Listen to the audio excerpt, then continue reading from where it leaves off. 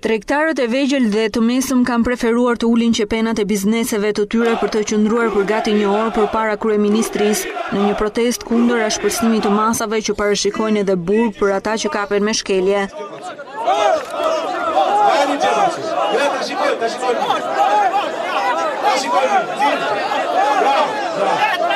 Të revoltuar dhe me pankarta në duar nuk jemi dakord, ata kanë kërkuar që ligji që parashikon gjoba të rishikohet ose të anulohet. Ligji që ka hyrë nga e enjtja në fuqi është dërguar tashmë në Gjykatën Kushtetuese për ankimim. Si Shoqatë e Mbrojtjes së Tregtarëve dhe Tregut të Shqipërisë, ne e çuam në Gjykatë Kushtetuese dhe kemi për ta fituar.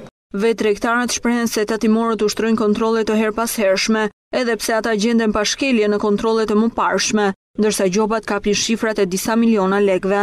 Të gjithë bizneset duan të paguajnë, po brenda mundësive që kanë për të paguar.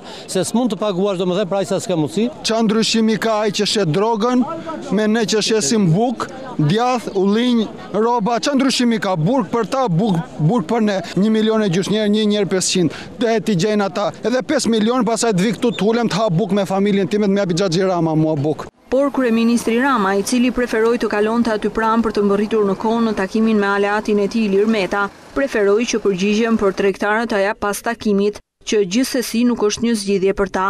Mos u përdorni, mos u abuzoni dhe mos lejoni që gënjeshtarë dhe mashtrues ordinerë t'ju përdorin duke ju thënë se po ju vjen një e keqe e madhe nga Ligji për Procedurat Tatimore. Organizatorët dhe tregtarët paralajmëruan protesta në të gjitha qytetet e Shqipërisë, ndërsa në njëzet e shtatë nëntor një tjetër protestë e madhe do të organizohet sërish para selisë së kryeministrisë. Bizneset e vogla shpeshherë kanë denoncuar abuzimet që sipas tyre grupet e tatimorëve po bëjnë me ta, duke i detyruar që të shkojnë drejt falimentit.